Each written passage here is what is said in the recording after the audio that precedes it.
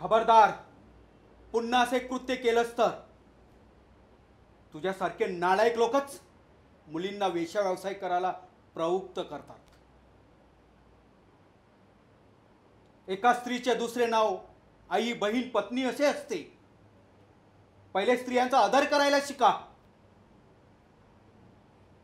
बारमध्ये नाचणारी मुलगी तुला काय?